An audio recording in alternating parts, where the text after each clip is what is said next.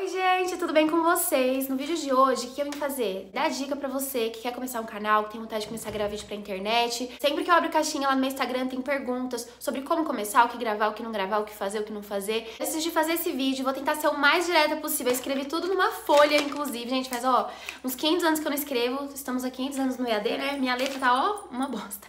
Porque eu tô fazendo caderno online, mas vai assim mesmo. Eu preferi escrever pra tentar não fugir tanto do assunto. Então eu separei aqui em um, dois, três, quatro, 10 dicas das coisas que eu considero mais importante. Espero muito que vocês gostem e bora pro vídeo.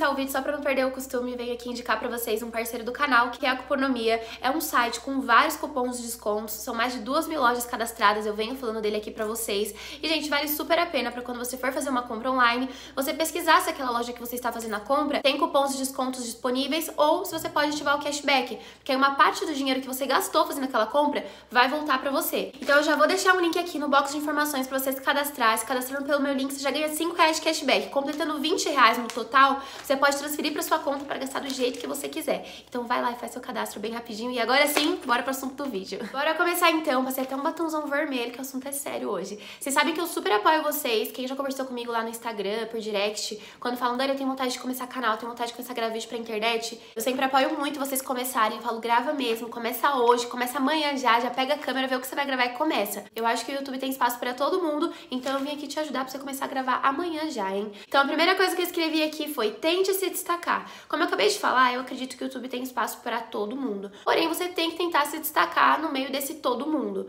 Seja fazendo um formato diferente de vídeo, mas daí já tem de tudo no YouTube, já tem todos os assuntos, já tem tudo que eu já pensei em abordar. Gente, não tem problema nenhum vocês abordarem um assunto, falar de uma coisa que tem muita gente falando. A questão do negócio é você se destacar. Seja no formato de vídeo que você tá fazendo, ah, você vai fazer sobre tutorial de maquiagem, mas e se você fizer num formato diferente, num formato que talvez ninguém pensou? Então, quando você for pensar num conteúdo, não pensa só assim, ah, eu quero fazer um conteúdo que nunca ninguém fez. Você pode fazer conteúdos que as pessoas fazem, provavelmente você vai fazer um conteúdo que as pessoas já fazem, mas tenta se destacar no formato que você faz. Eu tenho certeza que isso dá toda a diferença. Eu dei o exemplo do tutorial de maquiagem, mas seja uma receita, seja uma videoaula, você vai ensinar alguma coisa, uma matéria que você sabe. Pense em uma forma diferente de passar aquilo para quem vai te assistir. Isso vai fazer diferença, vai por mim. A segunda dica que eu coloquei, não diminua ou se envergonhe do seu conteúdo. Eu vejo tanta gente fazendo isso. O primeiro é diminuir o seu conteúdo. Vocês já viram alguém postando assim? Ai, vem ver eu passando vergonha. Ai, postei meu primeiro vídeo, vem ver meu micão aqui. Gente, não faz isso. Eu acho isso tão feio. Porque se você tá se envergonhando do seu conteúdo, por que você tá postando? Ninguém tá te obrigando. Imagina os outros. Dá o valor pro seu conteúdo, se orgulha dele, não importa se é seu primeiro, segundo vídeo. Óbvio que você pode brincar, você pode falar, gente, ó, eu tô morrendo de vergonha, mas vai aí, vai com Deus.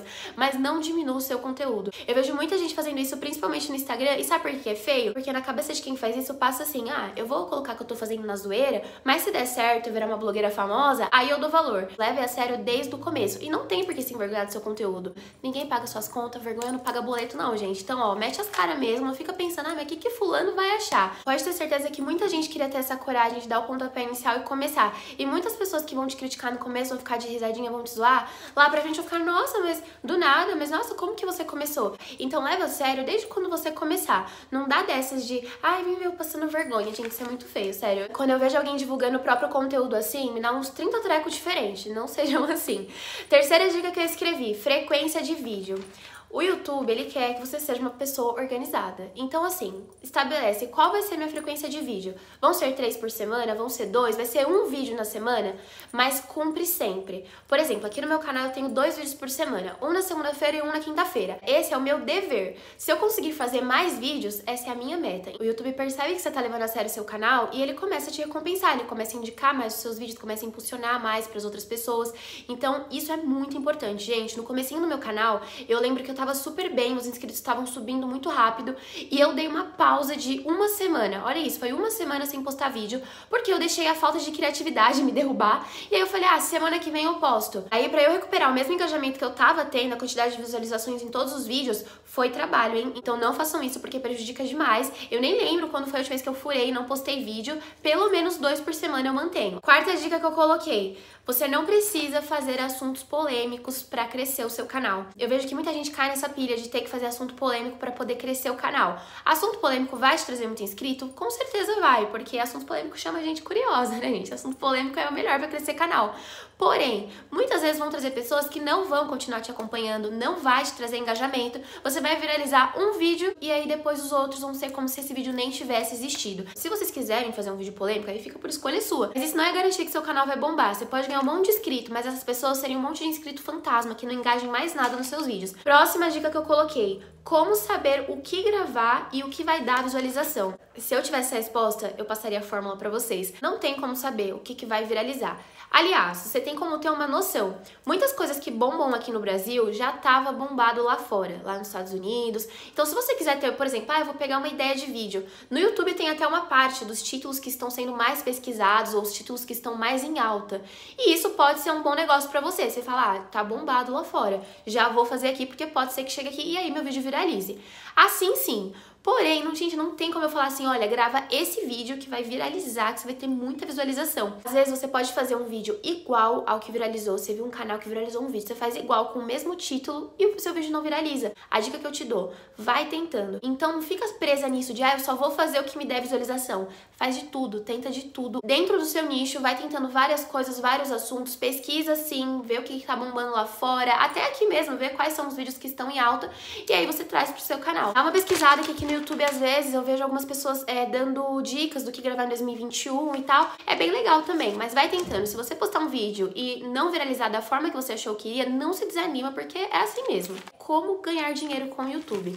Vocês me fazem muito essa pergunta. Eu não vou ser hipócrita de chegar aqui e falar pra vocês, olha, vocês têm que fazer com amor que um dia o dinheiro vem. Depois que entrei pra essa realidade, eu vejo muitas pessoas falando comigo e falando, Dani, eu preciso tentar alguma coisa, eu não tô conseguindo emprego, principalmente nessa época de pandemia. Passou o tempo de que as pessoas falavam, ah, eu comecei por hobby e agora virou meu trabalho. Muitas pessoas estão tentando isso aqui como um trabalho.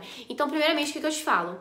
Tem que gostar. Não adianta você não gostar das câmeras, você não simpatizar, você não gostar de conversar com o público, é, ouvir algumas coisas, ler outras coisas. Você tem que amar gravar conteúdo? Sim, você tem. Mas é questão de como ganhar dinheiro. Seja persistente. Eu já fiz um vídeo falando da monetização, como é que funciona, mas basicamente você tem que alcançar mil inscritos e 4 mil horas assistidas.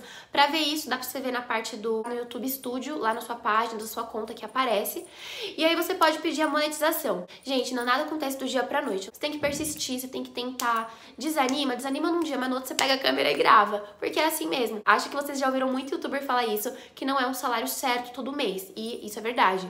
Tem mês que a gente recebe um valor, aí no outro pode ser que eu receba mais e pode ser que eu receba menos. Isso depende da gente? Depende, porque quanto mais você se esforçar, mais conteúdo você produzir, mais você aumenta a sua receita. Porém, também depende do YouTube, depende das visualizações, você tá entregando para todo mundo, do engajamento e por aí vai. Então, se você pretende ganhar dinheiro com o YouTube, não se desanima. Fazendo seus vídeos.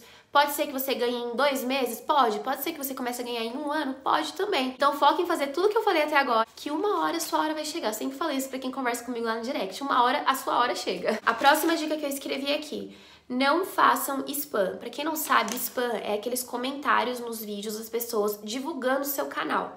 Quando você chega e fala, gente, vai lá, se inscreve no meu canal, pelo amor de Deus, troca inscritos. Pode trazer inscritos em números? Pode, mas quem te garante que essas pessoas vão engajar, vão assistir todos os seus vídeos? Ter um monte de inscrito fantasma também não te ajuda em nada. E além de ser muito chato, gente, às vezes eu vejo os comentários nos no meus vídeos, eu não apago, eu não ligo, mas o próprio YouTube me oculta quando é só um link ou quando é um, eles percebem que é um spam.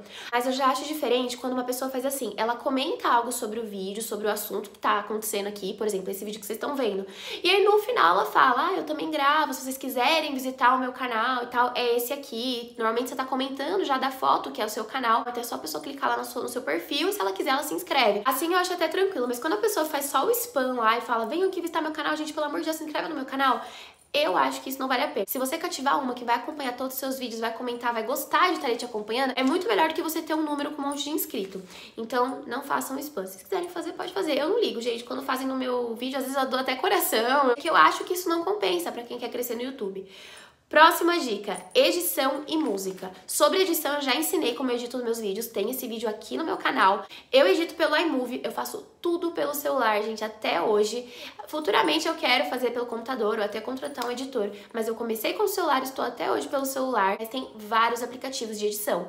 Para Android eu conheço o Filmora, tem o InShot, que é Android e, e iPhone, o Filmora também é para os dois, mas é só questão de pesquisar e ir testando qual o melhor. Normalmente esses aplicativos são super intuitivos é bem fácil de você entender como que faz uma edição simples. E se você tá começando, não se preocupe em fazer uma puta edição, faz edição básica, de cortar o que você não quer que vai, de tirar, enfim, quando você gaguejar, essas coisas. E aí é prática, você vai pegando prática quando você vê que você tá editando rapidão. E aí eu queria falar de música também, que é uma pergunta que eu recebo. Eu uso muitas músicas do próprio aplicativo do iMovie, ele tem uma galeria lá com músicas sem direitos autorais, mas quando eu quero diferenciar, quando eu quero colocar alguma música diferente, eu tô cansada daquelas, porque normalmente são umas músicas mais bobinhas assim eu coloco no YouTube mesmo. Eu pesquiso, é, é só você pesquisar assim, músicas no copyright ou no copyright songs, ou músicas sem direitos autorais, que já aparece algumas, tem muitas pessoas que fazem vídeos falando quais músicas não têm direitos autorais, e é isso. Próxima dica, equipamento e iluminação. Não esperem vocês terem um estúdio completo para começar a gravar. Ah, mas é porque meu celular não é bom. Ah, é porque eu não tenho uma softbox. Ah, é porque não sei o que. Gente, não espera isso. Se você tem um celular com qualidade mais ou menos, já dá para gravar. E é gradativo. Eu quero investir mais no canal, eu quero comprar um microfone pro canal, mas eu vou fazendo de acordo, eu vou conseguindo. Até hoje eu faço isso. Sobre iluminação, se você não tá com dinheiro para investir, iluminação natural é a melhor. No finzinho da tarde, assim, umas 3, 4 horas que o sol já começa a ficar de lado, vai pra frente da janela, pra frente de uma porta que entra muita iluminação, coloca o seu celular e grava. Eu já tenho um dinheirinho para investir. Eu, Daniela, indico a ring light. Eu não comecei com a ring light, eu comecei com a softbox. Mas porque na época não tava no hype da, da ring light, eu tava muito famosa. Foi depois que a ring light ficou famosa e aí eu vim comprar uma ring light. Mas por que, que eu indico ela pra vocês? Se eu for olhar a iluminação, eu prefiro da softbox, mas a ring light ela já vem com o tripé. A softbox não, você vai precisar da softbox mais um tripé. Eu quero gravar ali no meio do nada. Tendo uma tomada, já tá com o tripé embutido pronto. Então eu indico a ring light. Equipamento e iluminação é uma coisa que dá pra ser gradativo, dá pra você ir se virando. Não espera você ter tudo o estúdio, que é quando você o estúdio inteiro, você vai falar, ai, perdi a vontade de gravar.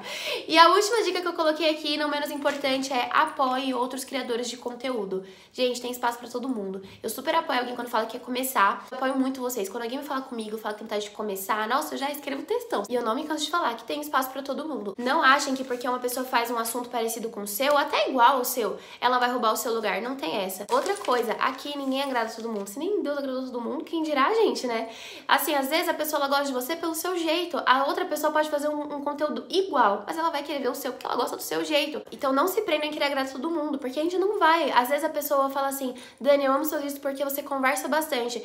Às vezes vem uma pessoa e fala, ai, ah, você fala demais. Essa pessoa não vai ver meu vídeo. Claro que assim, você tem que ver o que a maioria tá falando, né? Se a maioria não tá gostando, você pensa, putz, o que, que eu posso mudar? Mas eu estou dando esse exemplo porque é uma coisa que eu sei que agrada a maioria. Então eu não vou mudar tudo porque uma pessoa não gostou. Essa é uma pessoa ela vai assistir outra pessoa que fala menos, entendeu? Então não se prendam a isso. Bom, meu vídeo foi esse. Espero muito que vocês tenham gostado, que eu tenha ajudado com alguma dica incentivado vocês, se você tem vontade de começar a produzir conteúdo pra internet. Vou deixar meu Instagram passando aqui, o link no box de informações. Um beijo enorme e até os próximos vídeos.